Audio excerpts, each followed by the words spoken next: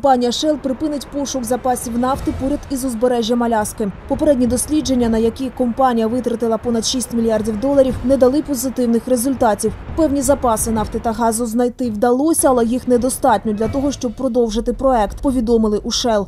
Це розчарування компанії потішить екологів та навіть інвесторів самого Shell. Перші були занепокоєні ризиком розливу нафти та загрози унікальним живим видам регіону. Другі переживають про фінансову сторону питання через високу вартість проекту ще й за умов несприятливої ситуації на ринку. Ціни на нафту впали більше як вдвічі за останній рік.